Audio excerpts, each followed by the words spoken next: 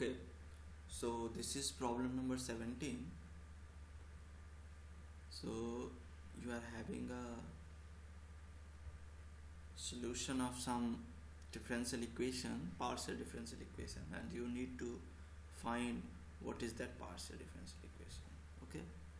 So of course you can find with the methodology you can follow the methodology it's not difficult but uh, for for this purpose means for doing uh, in the exam you better see that uh, because you see in each expression you have to evaluate the first partial of u and with respect to x and y. So let us do so if you evaluate the first partial of u with x it will give me 1 plus mm, the derivative so I should write the partial of f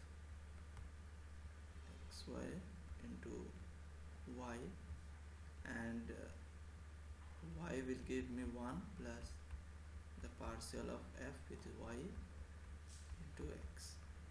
Okay.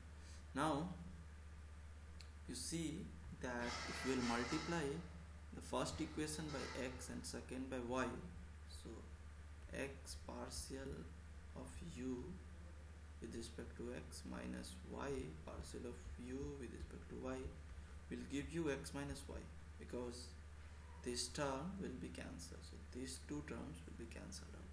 So you are getting this.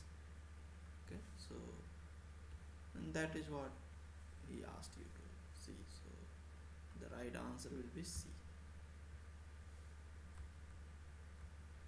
Okay? Okay thank you.